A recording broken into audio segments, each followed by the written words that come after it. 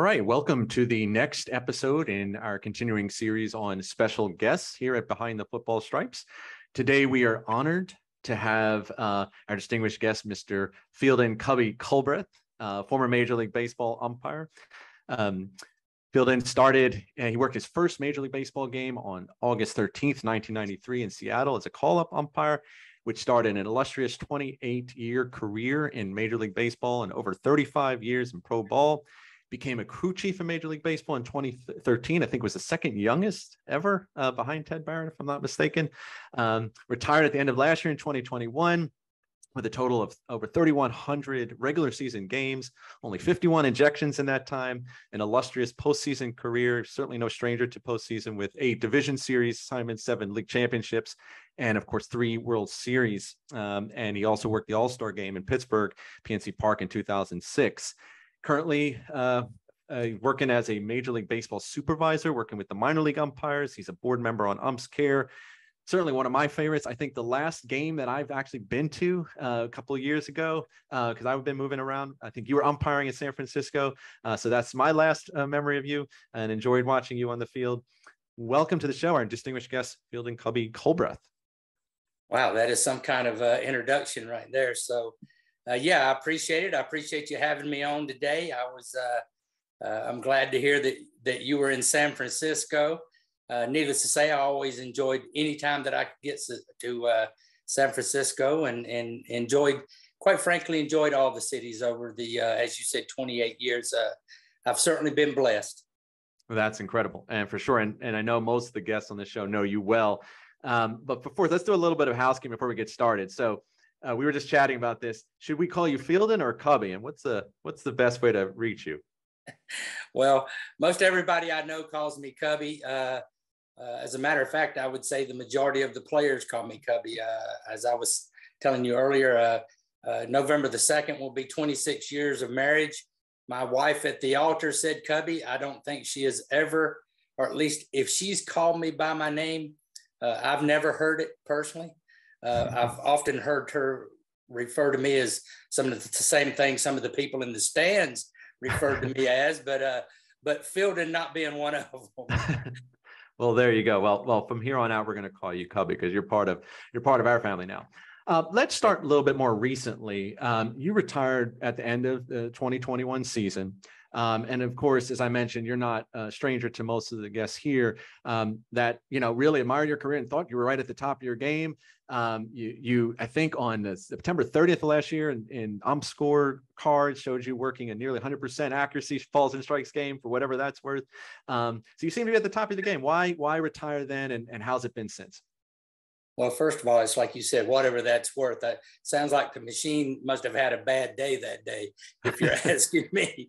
Um, you know, it was it was time. Uh, it's been a long career. It's uh, a lot of plane rides, a lot of hotels, a lot of times in the minor leagues. You know, uh, people when they think of a career, they just think of the big league part of it. But it's you know, it's been 35 years now, and uh, it was a lot of uh, missed first. You know, first steps, first words, all these things with the kids, and and you know, all of a sudden, here comes COVID.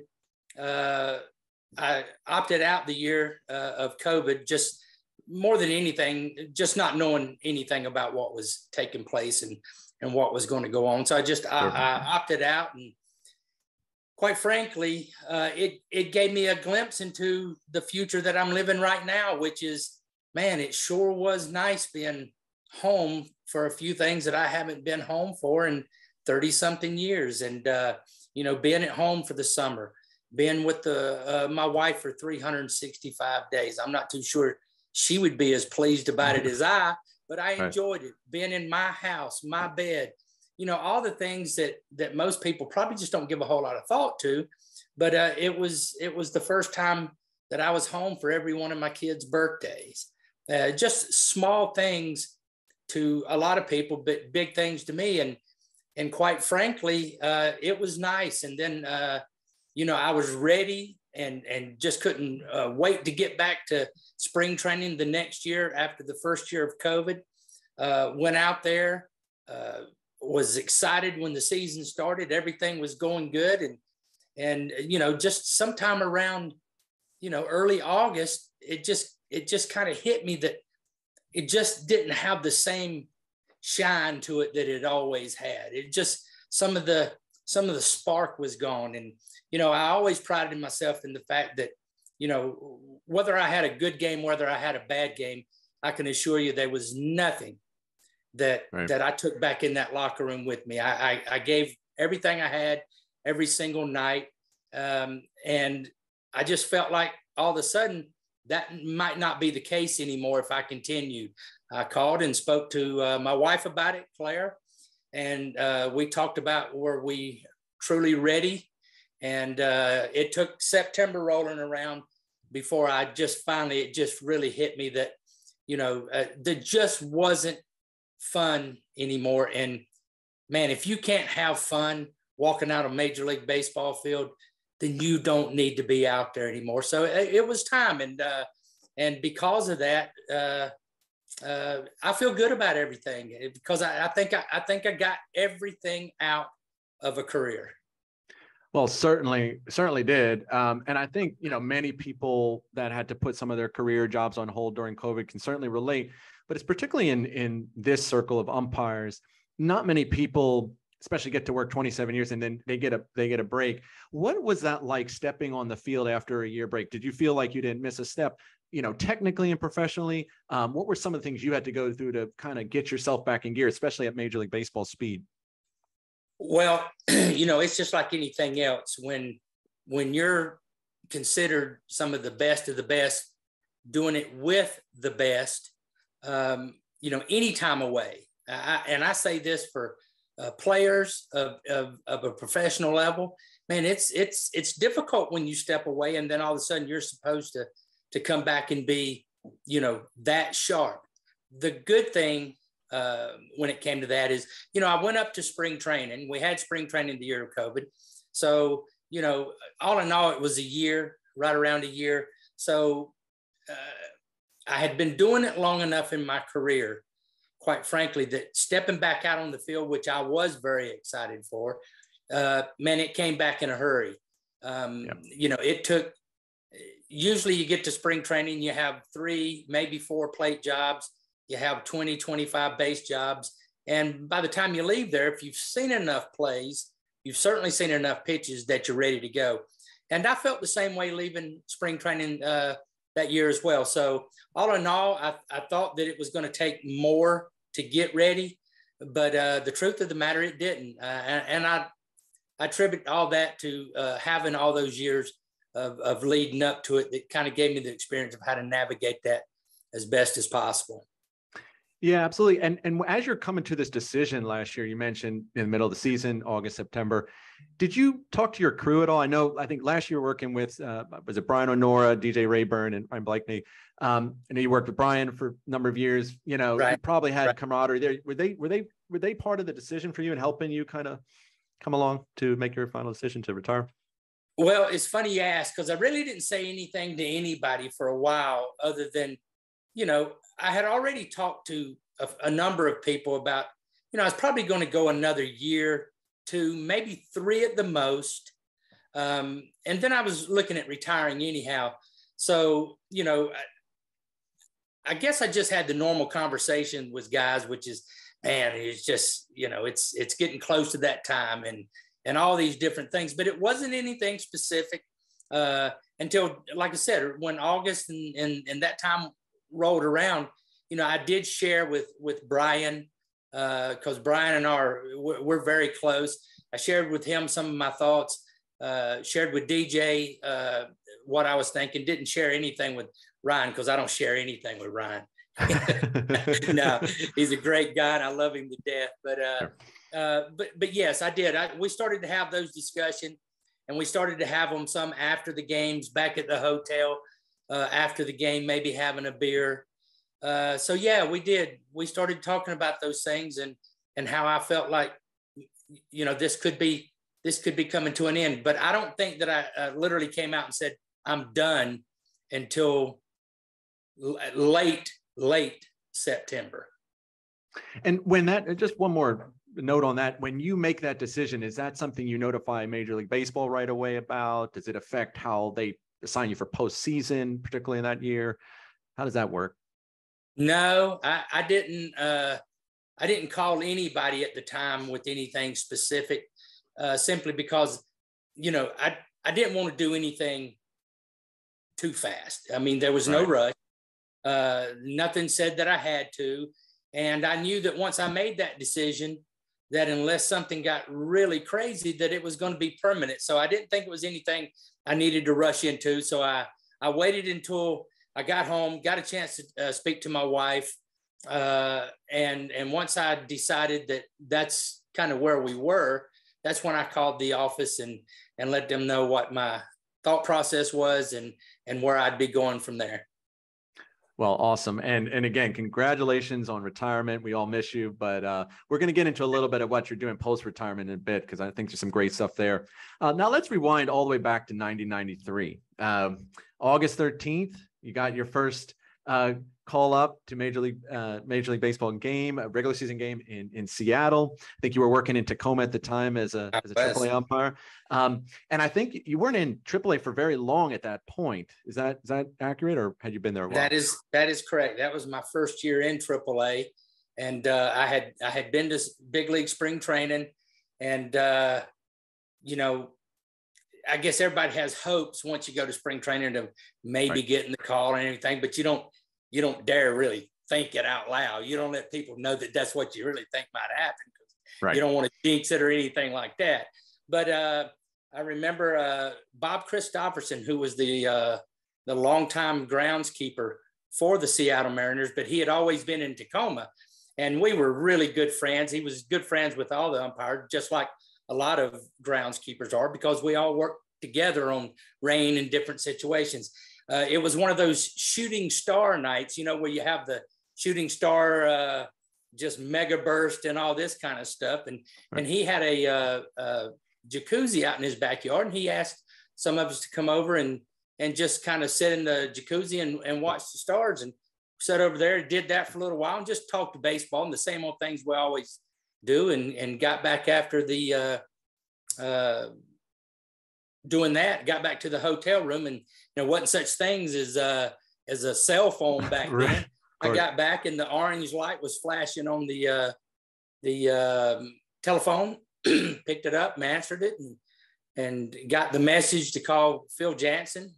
And I gave him a call and and he broke the news that I was going to be uh, working not the next day but the day after in Seattle uh, for my first big league game. So, um, needless to say, it was just a it's it's it's every feeling that you think that it would be. You know, everybody loves to say, ah, nah, it just kind of no. Nah, it was for me personally.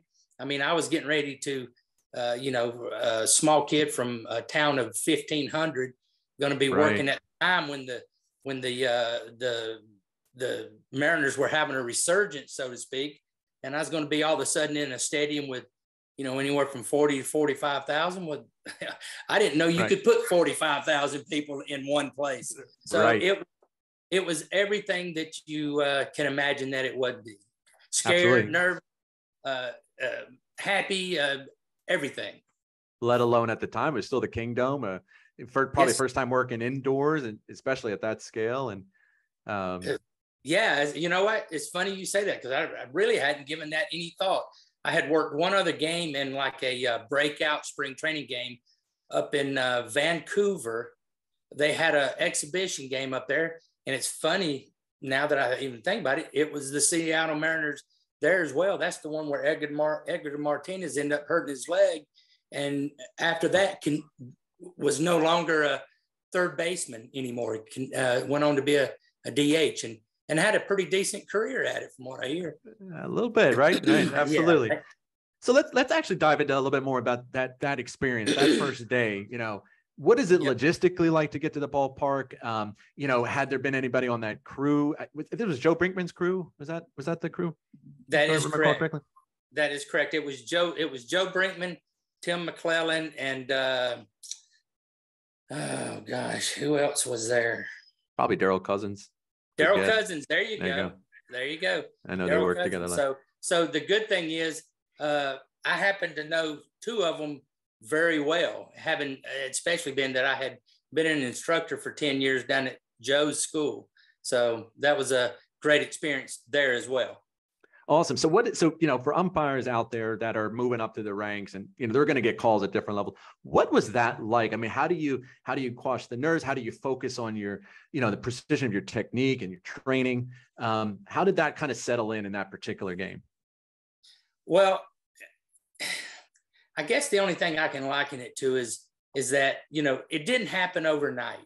You know, it's not like it's not like you decide to get into professional baseball you become an umpire, uh, you work a you know a couple hundred games. Next thing you know, you're in the big leagues. Uh, You know, in the minor leagues, especially the lower minor leagues, you work a two man system, and they do that, you know, for a reason. Uh, every other day, you're working the plate, so you're you're you're just constantly getting balls and strikes pounded into you, and it's for just to get that uh, just that everyday look at pitches every single day you know you get look at pitches. And every single day you're you're out on the bases. So it's just over and over and over and over and over again every day to where quite frankly by the time you get the chance the truth of the matter is you just got to fight the nerves and everything that would come with walking out on the field the first time and and having to one more time go oh man can i do this? But the truth you're you're ready it just depends on are you ready to do it every single day for the next 25 years you know i, I think i could there's days i've had games where i felt like i could put my mom out there for a few innings and she'd be okay because the, right. the guys are just throwing it down the middle they're everything's they're swinging putting the ball in right. play all those kind of things it's it's all those days they're not doing that where you have to be on top of your game to know that you can turn this into a career, not just some, you know, few games here or there that you happen to be able to uh, to pull this off. Right, and so trust your training and just kind of work through Absolutely. the nerves. Absolutely. Awesome. So after 1993, you ended up working, you know, as a call up umpire for the next six years, really, uh, getting about 100 plus games a year, it seemed like. And at that right. time, you know, for those that may remember, AL and NL umpire staff were split. Um, it seemed like the call up umpires, um, for each league were kind of like a predefined small set. I mean, yourself, Ted Barrett, Brian O'Nora, you know, right. folks like Eddie Hickox, I think, you know, you all were kind right. of in the wings. Um, what today it's a little different. I think you kind of see maybe there's more turnover, maybe there's more injuries and whatnot. You get more people up there, especially in recent years. During those six years, how what was that like? I mean, you're are you waiting for that that call to get hired? Are you trying to just keep your craft and distinguish yourself amongst those few folks? You are. Uh, you know, the thing is, uh, the difference between between today and, and back then was, you know, like you said, there was only four, five, six of us in either league and you know you just worked when the games were available and that's all there there happened to be. The difference in the american league and the national league at the time was uh, marty springstead god bless his uh, soul uh, when he gave you a number it didn't assure you of being a hire but it was it was about as close as you could get. So once you got a number you were pretty much in in a pecking order that could still be lost. But but if you know if you just went and did your job you were you were per, pretty much in an order. And today that's different uh, because everybody that comes up uh, gets a number. Right. and on top of that uh, what they do today is they they have a lot of guys that work up and down because they want to have a lot of guys getting some uh, experience here and there and to get them up to enough games to where when there is a, a chance to to uh, fill a spot such as mine that they they have a big number they have a big group of people to pick from uh, because they've got the number of games they've worked against the talent they're they're they're measured up to. So it's a listen you can't fault the system then and you certainly can't fault the system now.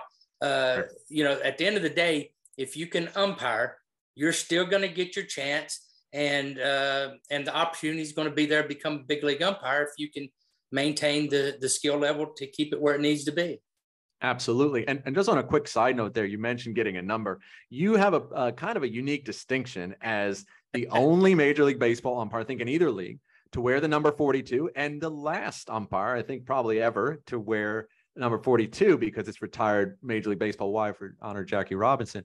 Um, you know, a little side note there. Did that, did that, how, how did that, how did that get communicated to you exactly? Well, the, the way it got communicated to me, uh, quite frankly, scared the pants off of me. I was out cutting grass. Uh, the season had ended. Uh, I was so new in, into the program that uh, there was no reason for my phone to be ringing. It's uh, it's sep- it's it's uh, it's October, uh, late late late September. I can't remember the exact date, but I can just tell you when I saw the number and the the name come up, I thought, oh my goodness, they're they're they're letting me go already. I don't even know what. I did. So right. I answered I answered the phone, and uh, sure enough, the the guy on the other end uh, said, "Cubby, uh, just want to give you some good news and bad news." And I'm like, "Well, I've already decided what the bad news is." Right. So anyway, at, long story short, he said, uh, "Hey, listen, they're retiring the number 42 forever. Uh, they're going to take it from everybody. Uh, they're going to grandfather it in for the people, uh, players that have already had it. But anybody uh, younger than this point, it's it's coming off the board, and we're going to have to take it from you as well. Well, comparing that to what I thought the phone call was going to be about, I gladly gave the number up and uh, right. and said yes, whatever number you have left, give me another one. I'll take it. So it was it was kind of weird how it came about, but uh, you know when it's all said and done, I'd be lying to you if if I didn't say that I was honored to uh, to have been a person that wore it. When the number 42 was first given to me, I didn't give that kind of thought to it. It more so mm-hmm. came about uh, actually when they took it, and uh, so I'm I'm right. honored to have been a, a, part of that, and and and thrilled that every year that they uh, make the recognition the way that they do. Absolutely. I wonder if you did they grab a jersey of yours to put in the Hall of Fame or or is that just a side note? Uh, no, but I can tell you what I did have over the years. You'd be surprised at the number of players that were number 42 that always loved the unify the uh, umpires uniforms that would ask me for a uh, Mo Vaughn. Movon every year just bugged a you know what out of me. Want really? to know could he, could he get a jacket? Could he get this? Because right. they, uh, you know, it was their number. And uh, but so yeah, over the years I've had a, a number of uh, players ask for that. So, oh, that's quite interesting. That's you know, yeah, that's cool. That's well, it's like a rare distinction. Um, anyways, back to your career. So, in 1999, another kind of unique distinction in your career is that you got hired as part of the mass resignation of the 22 right. umpires across the leagues. Um, and, you know, being kind of a sort of a veteran call up at that time kind of put you in a unique position where you were familiar, very familiar, I would assume, with the AL staff, but now you're hired and now you're part of this larger pool that I think in 2000 became all unified under Major League Baseball walk through that experience what that felt like getting hired but then of course now there's this culture of umpiring that that might be a little bit um, at risk yeah. because of the situation. yeah it's it was it was uh actually it was quite weird for uh uh as a matter of fact this is the first time that i've spoke about it in public. Uh myself uh, brian o'nora and ted barrett had been called early in the season uh, from from marty springstead and then dr brown at the time uh, letting us know that there had been three people that had uh, uh, put in uh, not their resignation. They were going to, at the end of the season, they were going to retire. Right. And this was well before any of the uh, the other stuff came out. So he had already made the call because part of the thing was, you know how I told you once you got a number, you were pretty much in line to be hired. Right. Well, Dr. Brown kind of wanted to get away from that. So uh, I guess part of Marty's last request was, hey, listen, these guys have been wearing it. I, I, I would like for these guys to be hired, and then we can re-rack and you can do what it is you'd like to do. So, um, again, myself, Ted Barrett, and uh, Brian O'Nora had been called well before any of this took place. Knew that would be hired, was already uh, uh, being sent some of the papers and that kind of stuff, and then all of a sudden at the All Star break, you have uh, uh, the mass uh, resignation, and and the rest is history. And I guess the only way that I can describe it is it was um, to to say it's bittersweet doesn't do justice. It's uh, right. um, somebody had somebody had left for my wife and I's wedding uh, a bottle of uh, Dom Perignon, and for some reason the tag had fallen off, and we could never attribute it to who gave it to us. So we just wow. left it there, and I said, hey, you know what? The the day uh, I ever get hired, hopefully if I get hired, we'll bust it open and we'll have a drink. Well, the only thing go. I can tell you is it still sits there and it's full. It's never wow. been busted open because it was uh, it was a day it was a day for celebration, but no way to do it with any. Uh, it, it, it, was just a different day, and I hate that for myself, quite frankly, right. and I hate that for Ted Barrett, and I hate it for uh, Brian O'Nora because uh, you know we'd worked awful hard to get in the position we were in, but at the same time, it was a serious matter with everybody else involved, and because of that, you know, I have no problem. You know, it just the career is what it was it was a it was a difficult day. It will always be a difficult day. Uh, I'm just glad that everybody's found a way. Everybody has found a way to move past it. I think that just lends itself to the character of yourself and, and your peers and, and, and how serious you saw the situation, how much you respected what was going on. It wasn't just a public spectacle that that many people were seeing. So um, that, that's that's really outstanding. In in 2000, you were assigned your first crew, and you happened to be working on Bruce Froemming's crew. Completely big pivot from now, you know, and Bruce Froemming being, of course, a longtime NL umpire. Um, how was that adjustment? Was that almost like starting anew again, um, or was it, or was there a little bit more continuity at that point? No, believe it or not, uh, it was it was quite easy actually, and I'll tell you why after I explain this first. As an up and down guy, uh, it was always my responsibility to understand in the American League, there was seven, eight different crews, whatever it was. I don't even know what it was at the time, 10, nine. Uh, but the bottom line is there were 10 different crews, 10 different sets of personalities and all these things. And it was my job to figure out how they did, what they did, where they worked, how they worked, what time they had lunch, all these different things to, right. to be there to to fit in with the crew. So uh, all of a sudden, being with Bruce was kind of, you know, it was just kind of a conduit of that as well. And at the same time, when when everything kind of went down in in, in 99, once they structured everything uh, the way they wanted it to be going forward, they came out with basically a manual of how they wanted all umpires to work uh, the four man system with some nuances that you could uh, that you could throw out there yourself as well. So, right. uh, you know, it, it, it was just like going to another crew. And while at the same time understanding that no matter what, uh, the crew chief could only could only go so far because it didn't have he didn't have the the leeway to just change what was in the manual. Right, right, exactly. And that certainly I think probably brought everybody on the same page and made it clear what the expectations were going forward.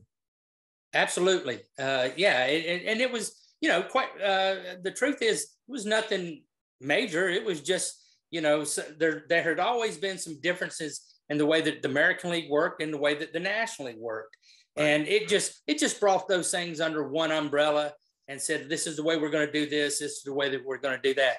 But I don't think that it was anything that had anybody uh, upset one way or the other as far as well, that's too much like this or that's too much like really didn't have an effect. As, as a matter, a matter, in my opinion, it was it was really good because again, it just put everybody and everything on the same page right there for everybody to see and, and understand. Right, which I think was ultimately in the end a, a great move.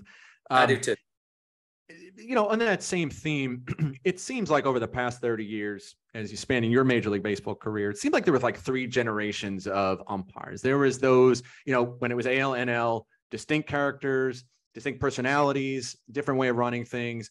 Um, then you got the 22 came in in 99. I think there was like a newer wave. Um, many of you guys, including yourself, went on to become crew chiefs and you know having distinguished postseasons. And and now I think you're seeing in the past few years this kind of newer wave of umpires where right. seems to be more consistent and and um, you know they don't have the same distinct personality. Sometimes it's hard to recognize who's behind the plate, you know, day to day. Um, and maybe more attention on certain part of their craft. Are you seeing? Have you seen the same thing? And can you talk a little bit what that was like to live through those those different periods? Yeah, you know, it's just like anything else. Uh, evolution, right? Right. Um, you know, every generation gets better and better and better. Very, very seldom in life have I found things that get worse. Not that right. things can't get worse, but typically uh, in today's world, man, with with the the smart people we have and the resources that are out there, things get better. So you know, out of nowhere, they bring in the the QuesTec at the time, which is the right.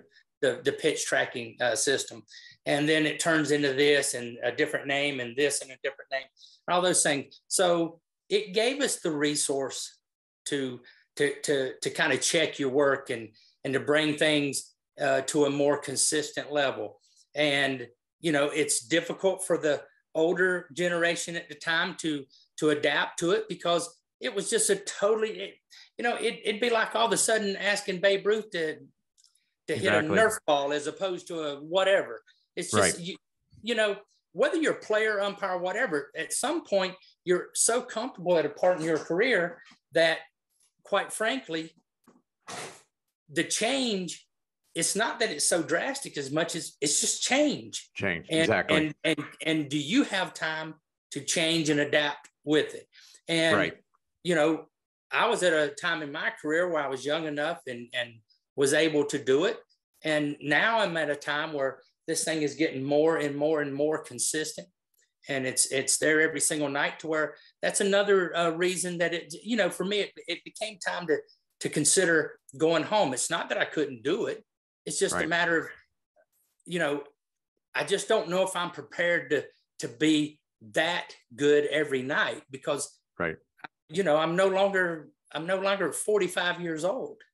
Right. So so right. that's it, that's that's what it was all about as much as anything. And and and the only thing that I can uh, tell you is that you know today's umpires are better trained and more consistent than ever. And that's the reason, as you stated, it, it's kind of tough to tell who's back there sometime because they're just all that good. I know that I know that it's it's kind of uh, kind of sport for people to sit and try to pick off the umpires are terrible and the umpires. Right. No, well, I can tell you this: if you truly, if you truly believe that, then you're just not been paying attention.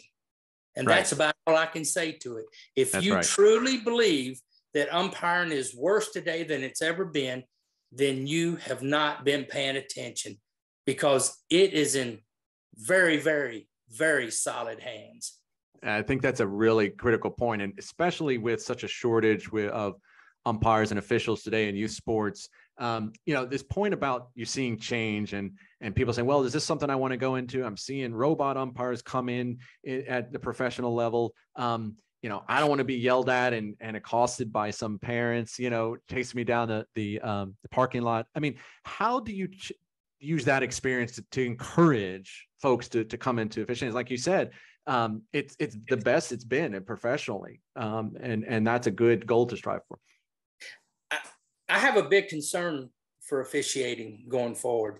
Uh, you know, I'm I'm involved in a lot of these uh, uh, organizations at the grassroots, and and uh, as you well are aware of, I'm certain that we are losing officials left and right, and I'm afraid they're never coming back. You know, it used to be where the the umpire did football and and the football guy did basketball and the basketball guy did volleyball and all these things.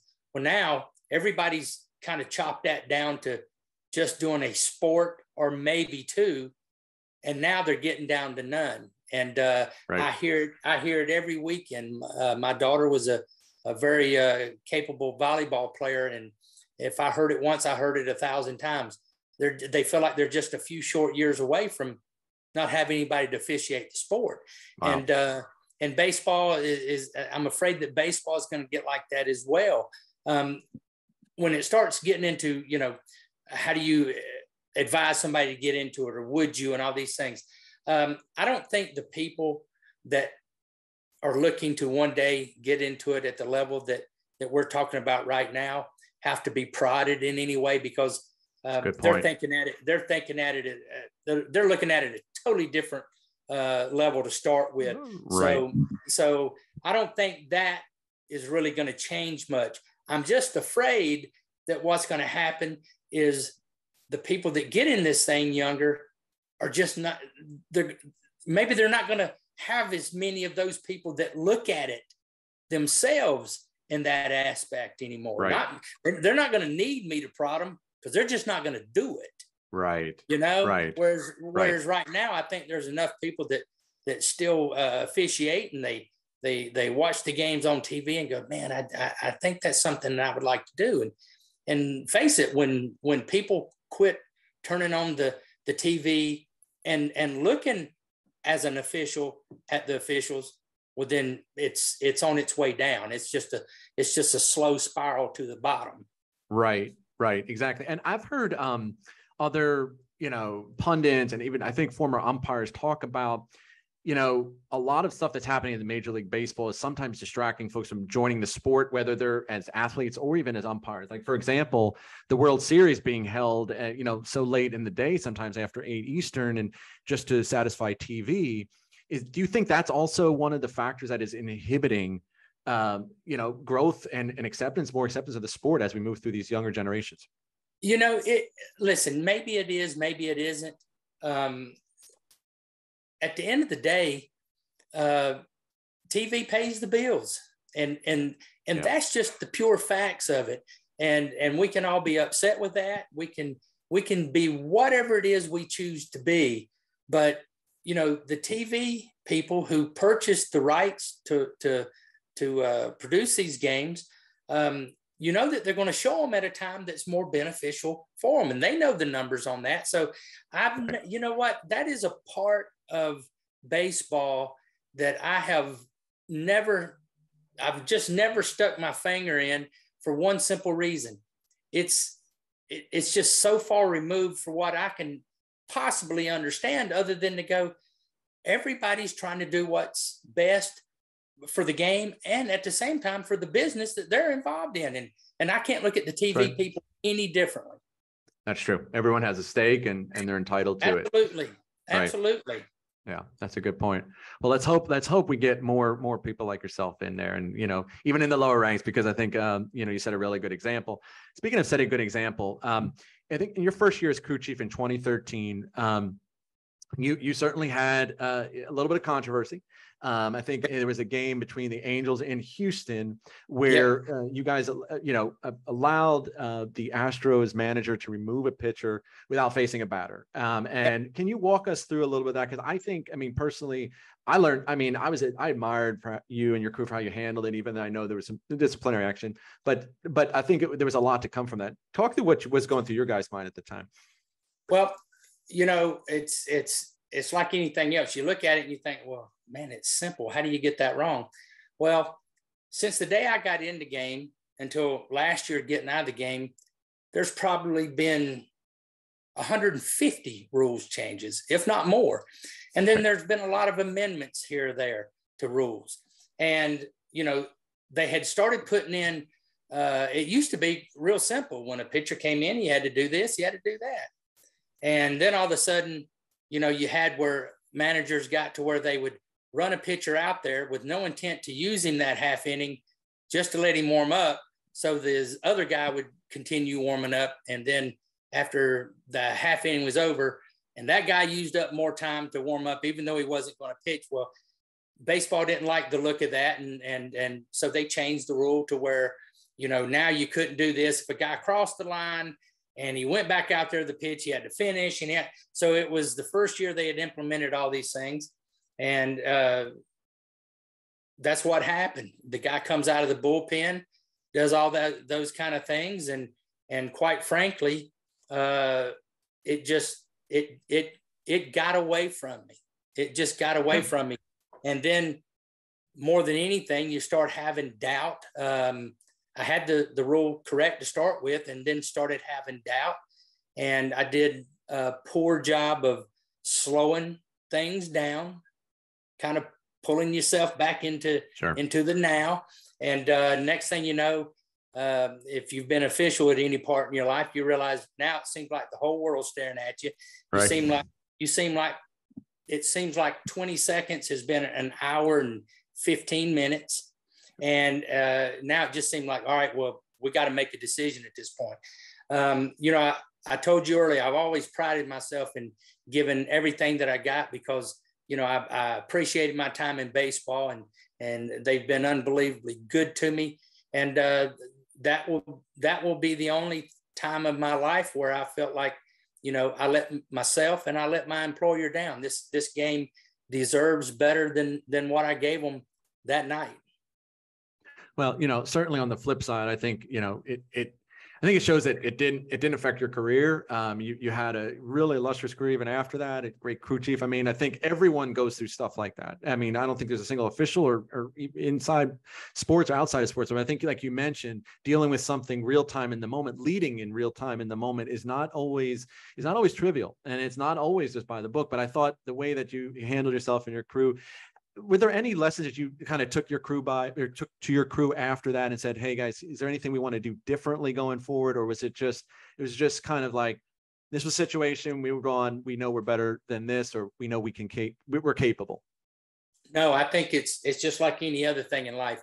Uh, you know i've i've told anybody that i ever spoke to uh, in in in my life and and and the young umpires that i'm dealing with now that hey just remember uh, it doesn't take anything spectacular to when you're dealing with easy. You know, exactly. it, doesn't, it doesn't take spectacular that day. it it takes a lot when you're dealing with that adversity. Uh, I know that the bigger lessons learned in my life came from mistakes, came from really messing some things up. Uh, hopefully, they just didn't get so far out of hand that it that it had some long lasting effect on anything. But from that day forward, I always put one person on my crew in charge of uh, making sure to go, hey, Cubby, okay, let's slow this thing down a little bit. Right. Just in, just in case I was trying, even though, because listen, 99% of the time, I know what the answer is. So let's just go give the answer. Right. But I, I still wanted that person to go, hey, slow down. Let's make it. So, so DJ Reyburn was my slow down guy. Gotcha. And, uh, and and uh, even though he had far, far, far less time on the field, I told him, I'm only going to be upset when you don't do what I ask you to do. Right. I want right. you to slow. I want you to slow us down and make sure that we talk everything through that we need to, to get talked through. And he did that. And because of that, we always worked everything out and and and uh, and everything was good from there. So so yeah, that's that's what I learned is that you know, it's just like anything else. It's just like at the traffic light, all of a sudden when you're stuck out in the middle, you feel like, oh gosh, I gotta go, I gotta go, I gotta. Right. Know, what you what you need to do is slow down for a second and kind of look around and assess the situation. Totally, totally. So that's what uh that's what I learned from from it more than anything is to have somebody uh, that's in charge of just saying, hey, right, wrong, or indifferent. Let's kind of pull back here and get the train back on the track and go from there. Yeah, and I think that's such a, a really astute point, especially in officiating, to always slow down. I mean, the game is going to be moving faster and faster, and even if you're not in officiating, right, to just is a great lesson in life, like you said, to just, um, you know, not not necessarily let things just get away from you, which I think is is a really important lesson for for all our viewers for sure. Um, and uh, in that in that same kind of light, um, you know, replay became a more dominant factor in the past ten plus years. Major League Baseball. Um, do you feel that your time working in the replay center uh, helped um, help reinforce some of your training? Uh, of course, you're going to learn some things, but did it reinforce? And and what were your thoughts on that? You know, uh, going into it, and I was on the board of directors of the union at the time and when we negotiated replay and how it was going to look and feel and all those kind of things, uh, needless to say, you really didn't have any idea of what it was going to truly end up being and and look and smell like and all that kind of stuff. But man, at the end, uh, I found it to be a really good place because it is one of the few times during a season that you have two crews in town. And I believe I spend more days during that week talking about umpiring, talking about right. positioning, talking about plays, because we're watching all these games and we're watching these plays and we're watching all these things take place. And it gives us a chance to talk about with people you don't see every day angles and how you get there and what you do and all that. And uh, man, I found it to be quite beneficial. And uh, what I found out more than anything is what I told you a few minutes ago. Man, we are damn good at what we do. And I challenge people yeah. to remember this. I think people lose sight of the replay room because they always go, well, look at there, that play got overturned, or this play got this, or this play was that, or this. Here's what I challenge you to remember and think about.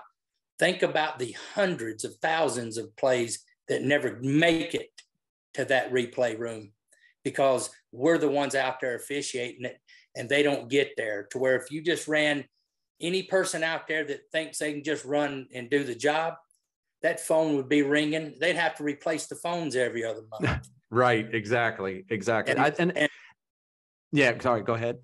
No, I was just going to say, and, and, and because of the people that, that, that we have and, and my colleagues over the years, uh, those plays never make it to that room. And, and I think that gets lost in the shuffle, not, not the overturns and stands and confirms and all those things. It's the ones that just never get there. Right, exactly. And, that is such a critical point. I think, especially for folks that want to armchair it and, you know, say, oh, that was bad call, this and that. But, you know, it's interesting because umpires aren't trained to be replay officials. They're trained, you're trained to be in a certain right. position, react in real time, and, and like you said, slow things down. Um, did, was there any training that had to go into like, I mean, watch these videos and kind of look at the angles, uh, you know, and from yeah. an analytical way? Yeah. I mean, you know, just like everything else, it kind of evolves, you know, the, I pretty much the first day we go in, we're, we're just kind of looking at it like a fan, you know, we're right. just basically watching the TV and saying, well, he looks out to me or he looks safe to me. But then you, you, you go there a couple of times and you start looking at it a little bit more critically and, and more than anything, have to understand the play's already been umpired. It's already been umpired. Don't become the umpire. Your job is to, to, to go with what the guidelines of, of uh, the replay room set, which are it's either clear and convincing, which makes it either a confirm or an overturn. And anything in between that makes it a stands. And right. Yeah that's what you have to do because it's easy if you don't watch it to get in there and want to umpire the play. And again, the play's already been umpired. Um, and and uh, and I found myself early on kind of going, well, I, I'm pretty sure. Well, that's that's not what my job was. It's the job of the people doing the broadcasting to get the video to me that shows me how he was wrong. If you've got something different than what he's got, then you need to produce that and give it to me as quickly as possible so we can right. make the proper call. And uh, and they do that now. You know, at first it was new for everybody, not just the umpires. It was the broadcast uh, people, uh, the replay room. It was new for everybody. So you know, uh, I remember early on there was a couple of instances where you know, two innings later we found out they found a new look at the play that we had just confirmed that showed that it might have been missed. Well, right. there's nothing there's nothing you could have done about that at the time. That doesn't happen anymore. I mean, everything gets there now in a split second. It's just like everything else we've been talking about. It evolves, it gets better. And uh and that room now is is is as good as it can be. You know, there's always going to be people, uh, no matter what, that just don't want to see it that way. They don't want to hear it that way. But that is what it is. You just don't get to go in there and make it up. Right. You know? Exactly. And and sticking to the so-called the facts, right? And and rules right. are not trying to like overthink it. I think is a key lesson. Well, before we get off the field and talk about some of the stuff you're doing post retirement, well, now just close out with um, uh, this week. Of course, the World Series starts. So kind of let's talk a little bit about your World Series career. You were lucky to work three World Series um, 2008 between the Phillies and, and Tampa Bay, 2012 between Detroit and San Francisco, and then 2018 that that uh, series between Boston and LA, I think, which had one of the longest uh, games. I think Ted Barrett was behind the play for that one. Um, they had the right man at the right place. right man at the right place. There yeah, you go. That's exactly right. Absolutely right. Um, and and in actually in that one, you actually rotated from replay to the field. So I'm gonna be curious what that's like because that's got to be that, that's certainly not something you do during the year. Um, first of all, any man, you know, what is the, your biggest memory of working the World Series in your three times? Well, I, I, I kind of take it back to just like it was working that first game. It, it is everything that you that you think that it would be. Um, right. You know, it it doesn't take long to realize uh, when you walk out there and you know you typically look at the scoreboards out there on the outfield fence and there's you know there's 14 other games taking place and and then there might be some college football games in September up there and all these different things. Yeah. All of a sudden you look out there and there's your game and that's right. it. You're the only show in town and you know all the pageantry and everything else that comes with it certainly does not give you the opportunity to to miss what's going on. So right. it's uh you know it's exciting. It's exciting to to think that this is the culmination of of putting together uh, a good career, uh, doing everything that you uh, had hoped to do, and uh, and ultimately uh, being rewarded with the chance to uh, to walk out there and, and to officiate what I think is the greatest sport on earth. So it's uh, it is it's everything that you would think it is, and and uh, for people that have a lot of hair that they appreciate, it's a good way to lose some. right, absolutely. How long did it take you to settle into that first World Series game? And uh, was it was it in Tampa? I think it started in Tampa. It started in it started in Tampa, um, and it was just like anything else. It's you know kind of once pitcher two got to going, everything was fine. The big thing was the uh, the plate. I have you know. Uh, because of my background playing in different things, I'd been on baseball fields my whole life. So um, during regular seasons, things like that, I just never really got, I, I, never really got too jacked up one way or the other as far as a plate job or anything else. I just kind of went out there and did the, uh, uh, the game. But for some reason, and I have no idea what happened to me that day in Philadelphia, uh, it was my night to work the plate. And I just couldn't sleep. I couldn't do anything. I played that game 20 times in my head before I ever saw a pitch. Oh. And uh, quite frankly, it had drained all the fun out of the thought of going out there because it was it was foreign to me to, to kind of feel the way that I was feeling. Didn't really know how to handle it. And then sure enough, we get to the park, had a rain delay, all this stuff to start the game and everything. And and uh, finally we got the game started and it was the weirdest thing had kind of had nerves that I'd not had in years and years and years. And it kind of drove me somewhat crazy. And then the second I walked through the gates and actually walked out onto the field was the first time I looked up and went, well, the hell, I've seen one of these before. You know, right. everything started to look familiar and the, the dugouts had people in them that I'd seen and same people were booing that always boo. And, and it right. was just all of a sudden it looked familiar, sounded familiar, smelled familiar. And, and after about 10 pitches, just like every single night, because uh, anybody says they don't get something going within, they got to be near death. Because I, I don't know how you right. can walk out on a big league field and not get something going. I'm not saying where it drives you mentally crazy, but you got to get something going. You're walking out there in front of a lot of people and going to have a, a lot of uh, uh, calls to make. So uh, it was like normal though, you know, nine, 10 pitches into it, it turned into another baseball game. And I settled in and just called what was thrown up there. There you go. Your training coming right back into it. Just that's, needed to see something normal. I needed to see something normal and, and not play it in my mind as opposed to right there in front of me. Gosh, we've all been there, right? We've all been there one yep. way or another. Yeah. Um, and then lastly, you know, in the your third World Series, mentioned you rotated from replay to the field, something you don't do during the year. Right. Um, and I know they've changed the format a little bit since then, but what was that like? Because you would have been scheduled to work Game Seven behind the plate, um, I think, right at that point. That is um, correct. What was that?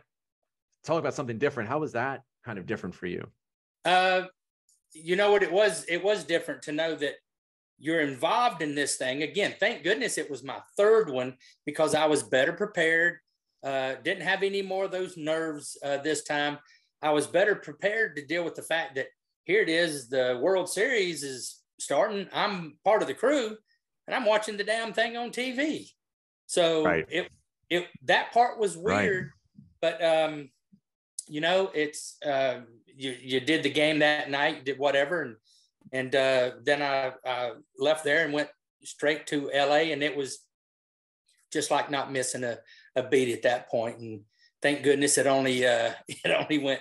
I think it went five, and and I didn't have to. Uh, I right. didn't have to perform. right. Exactly. Exactly. Yeah. Luck. Luck of the draw on that one. It was lucky um, the draw. Absolutely, and I'm sure. what would so you know the World Series starts in two days. What are some of those umpires doing right now in the days leading up to it? I mean, is there any special preparation, or or like you're alluding to it, you just want to keep things normal? It, you know, it by and large, you just keep it normal. There'll be some guys these days that, uh, you know, the weird thing is, is believe it or not, you know, the last game of the season was when uh, September the 31st, uh, early October. Something like so, that. Yeah. So depending on depending on uh, where you were in the rotation, where you were in the divisionals, you got a guy that might be working a plate that hadn't seen a pitch in a few days. Right. So what the so what they'll uh, go do now is they'll go to a cage or they'll go somewhere and actually watch some pitches to kind of to kind of get back in the swing of that and everything. But uh, I can assure you that uh, I never did that and I never felt the need to do that, even though there was a uh, had I worked Game Seven uh, that year, uh, it would have been it would have been about a week and a half to two weeks before I had worked a, a plate job. But I can assure you, at that time of the year, you are dialed in and you're ready to go. And the only thing you need to do is get back behind that catcher and take a couple of warm up pitches and uh, you look around and hear that noise, you'll get you'll get snapped back into reality pretty quick. Pretty quick. Well, a testament to your training and really, like you mentioned, the professionals that you guys really are and why you are so good at what you do. So um, all the best of luck, of course, to our, our World Series umpires this year. Let's uh, let's move off the field. So you retired and and you've taken a role as a Major League Baseball umpire supervisor, working with minor league umpires. Um, what what first of all led you to take that that, that role and and talk a little about what that's like because we don't hear from supervisors a lot um, or what they do, especially in Major League Baseball. well, uh, when I decided to retire, uh, you know, I was asked to to stay on and and maybe consider uh, supervising. Uh, quite frankly, at, at, the time, and and I don't think any time in the future either for me for me personally. You know, I was I was asked if I'd you know do it at the major league level, and that didn't sound appealing to me simply because I when I came off the field. Uh, the time away from home and flights and all that had as much to do with it as anything. It's about 180 days a year on the road, and and I, I was quite frankly, I was just done with that. So the last thing I wanted to do is get out of the game and then get back in it at a level that cost me another 125 days on the road. Right. So that that wasn't very appealing. Uh, but I started discussing it with uh, one of my bosses and said, you know, you know, I I'd love to consider it at the minor league level. And you know, his eyes kind of lit up, like, really, you'd you'd do that? And I said, I would love to do that. Uh, it, I, live in Landrum, South Carolina, which puts me, uh, because of where I am, you know, I've got three or four teams that I can drive to within uh, minutes or just an hour or so at the most, and uh, and then another couple of teams that are just two and a half hours away.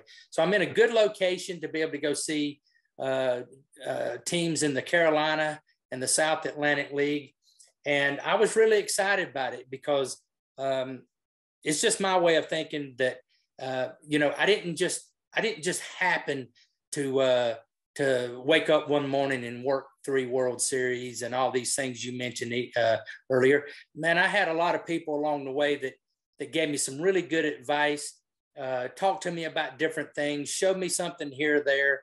Uh, bosses that believed in me and and gave me the opportunity to uh, to uh, shine and excel. And it sounded like a perfect way for me to take some of that that was given to me and go back to the the, the grassroots of this thing and uh, and give back some of what was handed down to me. I I remember being in the minor leagues, just kind of thinking to myself that uh, nobody makes it to the big leagues. That's just what they tell people. You know, right, right. we're just down here umpiring minor league games and just wandering around doing nothing. Nobody's going to show up. Well, that's not true. Uh, and and I want to be a, a I wanted to be a part of showing them that it's not true. I am extremely proud of uh, the group of people that I work with right now uh, at the minor league level. I'm the only one on the staff that that uh, actually made it to the the major leagues. But I can assure you, those guys that are doing it and have been doing it well before I got here, they know what they're doing. They yeah. throw they throw everything they've got into giving these guys and girls every bit of knowledge that they have to become big league umpires. And and quite frankly, that is my you know I always set goals as an umpire, and uh, I've I've got a new goal now, which is I want to get one of the first people that I'm able to touch to the big leagues. I want somebody right. that I touch and have hmm. contact with to realize their dream now. And that will, that quite frankly will be, I think, the icing on the cake. And when that happens, it'll probably be time to hang it up in the supervising uh, realm as well and, and move on and let somebody else do it. But I've enjoyed it. It's been good talking to these young people and, and, and man, they're just, they're just sponges. They're just looking for some right. information. And, and I've, en- I've truly enjoyed it just like I said about the working the first game and working the first World Series, this has been everything that I hoped that it would be as well. Absolutely. I think that's a really good way to put it. I mean, personally, I've always seen this thread of leadership in in officiating, and I think that's what's attractive to so many people because I think it gives you an opportunity to to give back and share that craft with folks. And I mean, you were a crew chief. I'm sure you're some of the same things you did as a crew chief with your major league guys. You're doing with some of these minor league guys, and just uh, you know helping them and, and leading through example and and stuff. So I think that's that's really outstanding, and I think that's hopefully something that brings more people to to the craft in general. Um, I think it's a great profession to to become a good leader too. Well, I, that's what I'm trying to do. I'm, I'm just trying to talk to them about things. You know, I tell them nightly, uh, uh, you know, even though what I'm doing, the people that I'm seeing for the most part are in low A ball to high A ball. So they're, they're about as far away as you can be from the major leagues and being professional right. baseball right now. But I, you know, I, I, I tell them every single night that, hey, listen, you go out there, you work hard, you do all these things. And you know it's going to happen for somebody. Right. There's there's no reason it shouldn't be you. Right. Absolutely no reason. And uh, but but you're going to have to believe that. I can't want it more than you you right. know? So you're going to have to right. go out there and, and put in the time. And and i just i've enjoyed talking to them about the fact that you know i'm not there to get a guy from a ball to double a or to get a guy from double a to triple a. I'm there right. immediately trying to tell them hey guys let's think bigger than that. Let's think big leagues. Because right. if you do all the things you're supposed to do to become a good big league umpire, I will assure you that A ball and double A will fall right into place. Exactly. Do you remember, you know, you, you had mentioned you had a baseball career at, at UNC Charlotte. Um, when did that, when you started down your path for umpiring, when did that click in for you? It's like, I want to shoot for the big leagues. Well, I had never umpired a game in my life, and uh, I messed up my arm my senior year. It just so happened that my college baseball coach, uh, Gary Robinson, had actually been in professional baseball as an umpire. So he spoke about umpiring for years, you know, right. that I was there. And, and uh, there was times that I didn't realize at the time uh, we would be practicing in the Charlotte O's, the Charlotte Orioles back then. Um, were would be in town, and all of a sudden they'd be two or three people walk up, and uh, Gary would stop practice for us, hand it over to the assistant coaches, and he would leave with these people. I didn't know who they were. It come to find out, it was some of his ex colleagues. They were in town to do the O's games, and they would go out and have a beer after a game or whatever it was they were in town. They'd go visit, and, and uh, so so I talked to him about umpiring uh, after my senior year when or during my senior year when I uh, uh, tore my rotator. Wasn't quite sure what I wanted to do. I was, I guess, I was that guy that went to school, was going to play and do all that kind of stuff, and and uh, didn't put all my resources exactly to where I should have.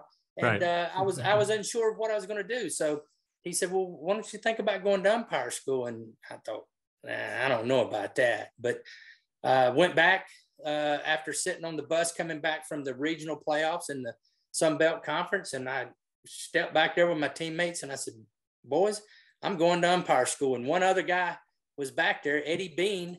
Eddie right, Bean says, "Yeah." Eddie Bean says, "I'll go with you." And Eddie and I both went. Eddie and I both ended up getting a job. And Eddie Bean, for a little bit of trivia, uh, never ended up working full time in the big leagues, but worked a perfect game in Major League Baseball. He worked Kenny Rogers behind the plate, worked his perfect game, and then got released like two months later. It's kind of a tough gig there. Right, exactly. but hey, he's, he's got his name in the record books at he's least. He's got his name. His name is in the Hall of Fame, one way or the yeah. other. Absolutely.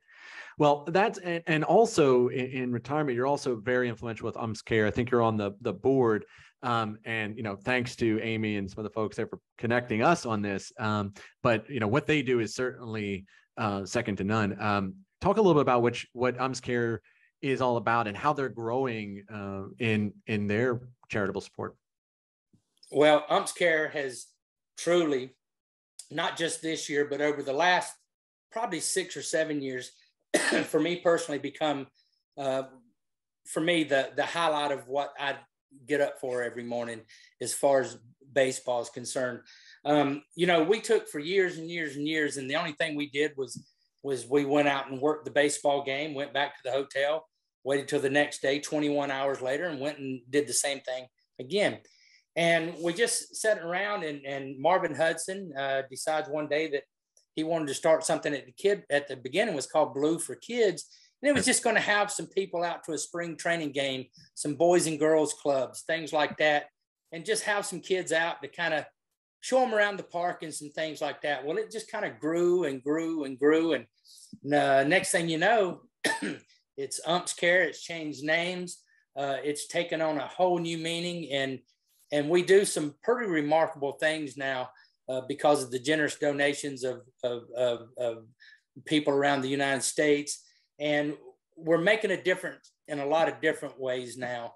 Uh, when we first started off, we had the kids program. We would bring them out on the field. Uh, it was uh, at-risk kids, and uh, we'd bring them down. And and you know, we're talking about kids that might be 13, 14, 15 years old, been living in Kansas City their whole lives, and never seen a baseball game, never knew that Kansas City had a, a big league team. And right. uh, we bring them there and we give them a, a, a, grab bag full of stuff. We put them up in the, the really good seats that the umpires have and the teams participating, giving them part of this, these grab bags that they get. And they get a, um, they get a little gift card that, that gives them, uh, they can go up to the concession stand.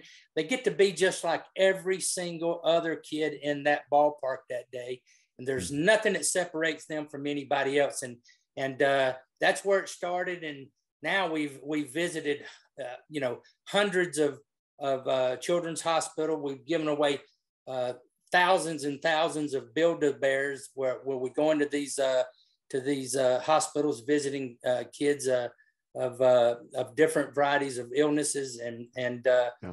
And we give them a chance to pick a Build-A-Bear, a Build-A-Bear, and an outfit for it and we visit with them and and we do all those things and and and it's just it's just been unbelievably rewarding and now we've even taken it to another level where we have the scholarship program where we take kids that are adopt, adopted later in life. You know uh, my wife and i adopted a, our middle child was adopted from guatemala when she was five months old but we had we had our whole lives with her because we got her at five months old to set up for college and everything to, to have her ready to go, just like our other two kids, natural born kids. Uh, we're talking about kids that were adopted later in life that, quite frankly, the parents get them when they're 15. They don't have uh, they don't have the opportunity to to save up for them to go to college, and and many of them would have never have gone to college, and they admit that they would have never gone to college because they wouldn't have been able to afford it. So I don't think there's anything better uh, in life than an education, and to to be able to give ten thousand dollars a semester uh, to a deserving young man or uh, or woman, and to help them with something that is going to produce for them the remainder of their lives has been unbelievably rewarding. And we don't just we don't just hand them the money, pat them on the back, and say, "Hey, there you go. We hope you enjoyed it." Uh, we do a mentoring process with them. Uh, we stay in touch with them. They stay in touch with us. Uh, they call and and ask for help here and there. So it's become it's become a really really nice relationship. And uh, I can just tell you this: Umps Care. Uh, I enjoyed every World Series and every playoff and every one of those 3,000 games.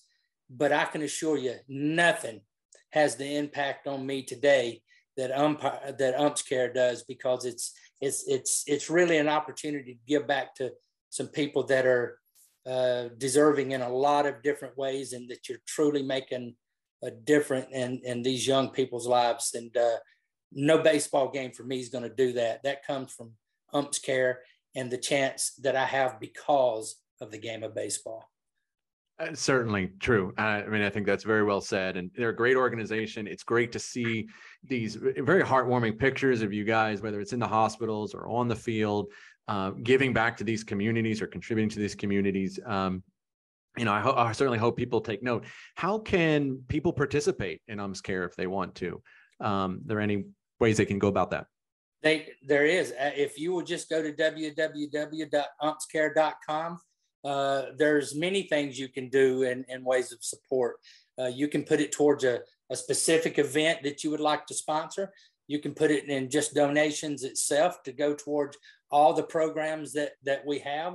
Um, there's there's many ways that you can get involved. You can actually even come out and participate in some of the events that we have, uh, the bowling tournaments where we raise money, and the golf events where we raise money. And you can you can uh, you can meet some of the umpires and you can uh, meet some of the uh, kids that have gone on to become our scholarship sponsors and uh, and, and things like that. So there's uh, a lot of ways to do it. Uh, needless to say, I'm, I guess this is the point where I will make a grab for it and say that if you, you know, I don't care what it is that you have to give, you will not embarrass us with a with a dollar donation. We'll take right. anything that you have the opportunity to give because uh, uh, all anything is always enough. Uh, uh, it, it, it all it all comes together, goes into the same kitty, and we find a way to uh, spin it for all the programs that we have, and all of them are just doing so well now. And and like I said, I'm just I am beyond thrilled to be a part of it and to be a, a board member of Umps Care, and and uh, it's it's it's the best thing that I'm involved with, other than other than my own family. Sure, Umps of course. Care, Umps care is where it's at. So it's just it's a it's near and dear to me, and will uh, will continue to be uh, in, until the day that I'm no longer on this earth. Well, I mean, it certainly is. It's a great organization. As I mentioned, it's great to see that. I know a lot of umpires are actually, or you know, at the amateur level, are, are noting, noticing that, and and like you said, it's a great way to possibly meet some of you guys and and give a few bucks of a donation here and there. It just goes a long way, especially some of these underprivileged kids, and and or even those that are that are unfortunately sick or dealing with illness, which we which we certainly don't ever want to see. Well, thank you, uh, Cubby. Uh, to kind of close out today, just want to do a couple quick fire questions, uh, a couple things that came from our, our viewers and just some fun things. Yeah. First of all, uh, you probably have probably tops of this your signature strike three call, maybe second to Tom Hallion. He breaks his back. Um, how did that come about? You know what? to be honest with you, I never, I never gave it any thought, and it's not something that I had done my whole career through the minor leagues and everything.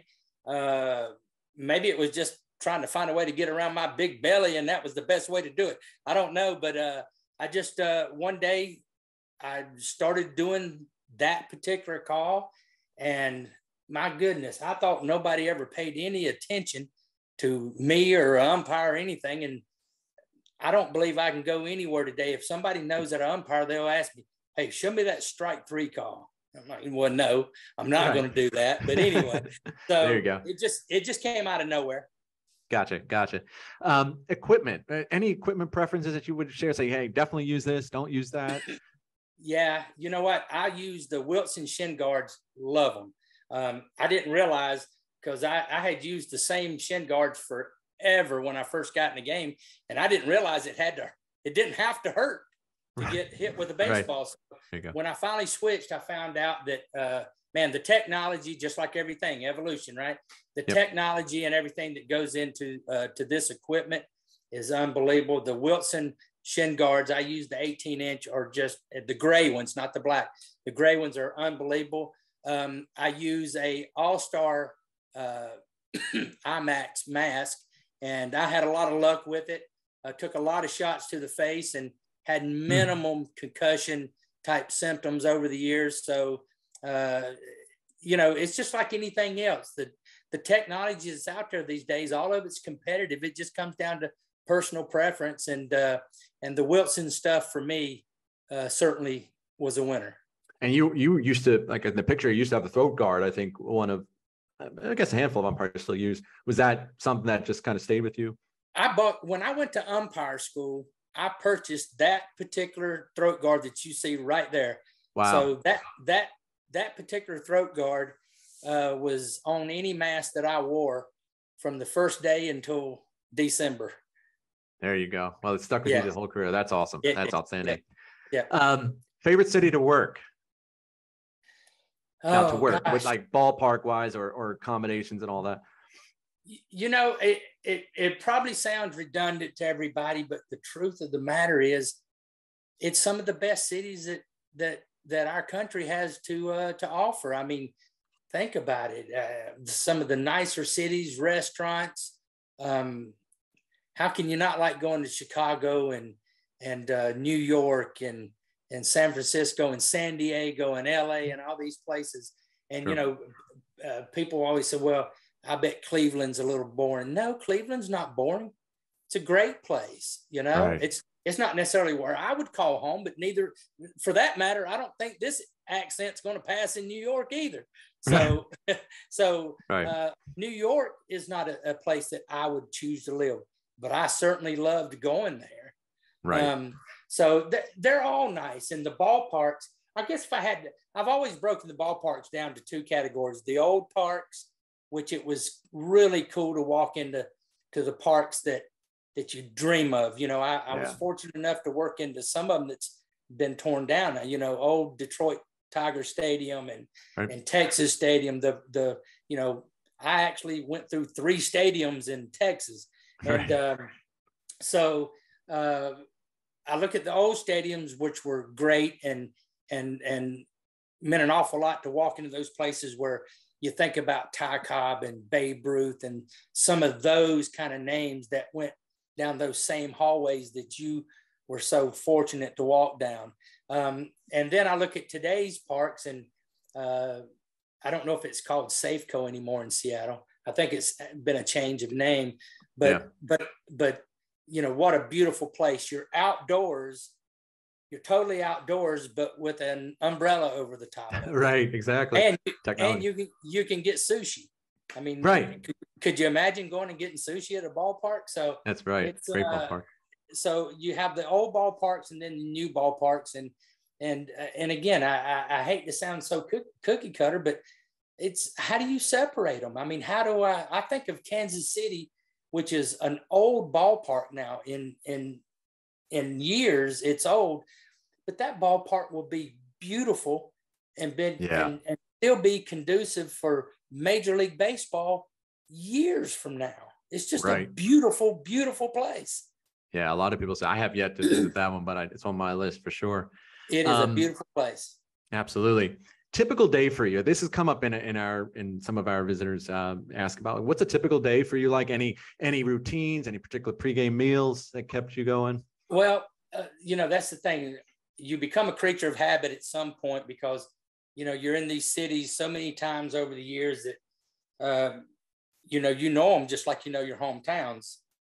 And uh, so I'm an early riser. I'm a, you know, I'm a six o'clock in the morning kind of person. And, and so I would get up and, and go to whatever local uh, breakfast joint that, that I had uh, found over the years and start my day off with some coffee and and things there and just kind of just kind of half tried to do the same things that I would do back home maybe go out and and go for a walk in the city and all those things. And then uh, you know after the first 10 years uh, all the things you would typically do during the day kind of wound down because you know it's you can only go to the San Diego Zoo so many times to where the when the panda right. starts recognizing you that's not a, that's not a good thing. So right.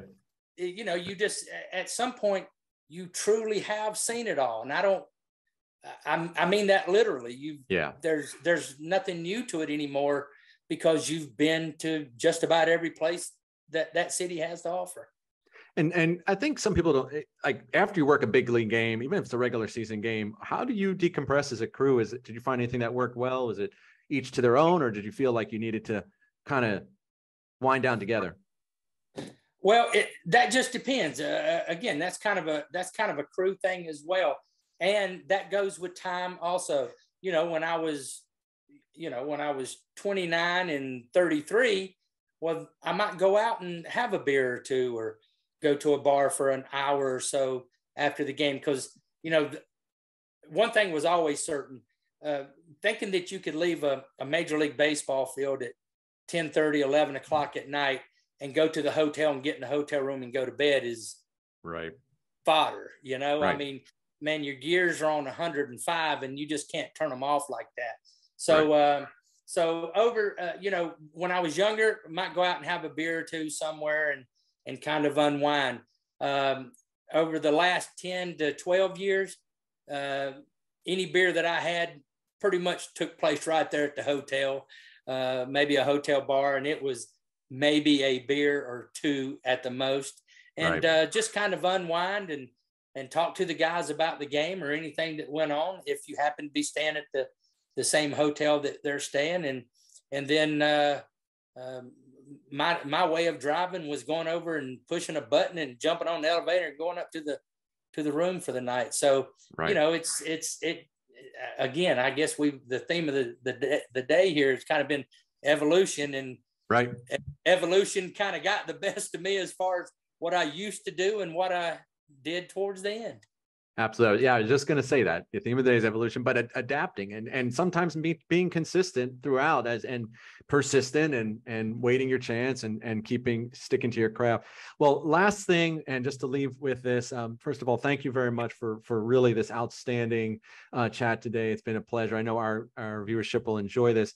What what uh, two things? Your most memorable moment or time on a field, period uh, in your entire career? Number two, what's what's some parting words you have for uh, for anybody that's in the profession right now? Well, there'd be a couple things as far as uh, moments on the field. One would be my first World Series, having my wife there and my youngest, my son. Uh, had a, a, daughter at the time, but the the adopted daughter, but she was too young to uh, to bring. So it was, you know, that's something, and have the the the pictures and things to kind of memorialize it and and remember it and all those kind of things. So that was that was definitely a, a big moment there. Um, and then probably the biggest moment on the field as far as just the moment itself was um, I was on the field the night that Ripken's streak came to an end. Right, and Baltimore. you know that's that's as uh, that is that is probably as big a moment as the game will have the offer in a long, long time as far as records go, because I think that of all records in any sport or hell, for any category that records could possibly be set, that one I think is about as safe as anything known to man. It could be broken because every record can be, but I don't see how. Absolutely, and I agree with you. As a Maryland native myself, I second that. That's a that's I, certainly certainly something I, that won't be broken. I just don't know how. And as far as words of wisdom, uh, you know, I'll, I'll end this with uh, kind of more of talking to the uh, to the amateur side of of, of officiating because, um, needless to say, it, it, it, it it's going to touch more people that that will understand it. Um, you know, I've told you that every single game uh, I went out there and umpired, I, I, I, I truly gave it everything that I had. Uh, I was fortunate enough that the only game I ever umpired in my life was the professional level. But I ask and challenge every single amateur official, no matter what the sport is, officiate that game that night like it's the World Series for one simple reason. For some young man or some young woman, it is. That's as right. good as it's that's as good as it's ever going to get. It's as big as it's ever going to be, and it's the biggest game they're possibly ever going to be involved in, and it might be the last one they're ever involved in. So, so you know, if you don't have the the patience and the the wherewithal to go out there and and give it that, then I challenge you not to go out there at all. I think that is extremely wise advice, and you're so right. You know, so very few get to that spot, and uh, keeping that in mind, it's always going to be important for somebody on that field, and hopefully uh, that sticks with folks. Well, Cubby, thank you so much. This has been outstanding. I know we'll certainly enjoy it. You'll inspire a lot of officials here, and uh, you know, we hope to see you sometime in the future too. Well, I appreciate you having me. I appreciate you giving me the the chance to talk about uh, a fortunate career that I had, but more importantly, the chance to pass on some words about umps care. And, and again, uh, umpscare.com. Uh, please take the time to visit the website. And whether you decide to purchase a hat or anything, uh, if you get the opportunity to make a donation, we would certainly appreciate it. And I, again, thank you for giving me the opportunity to be here and kind of tell my story. Thank you so much. Thank you.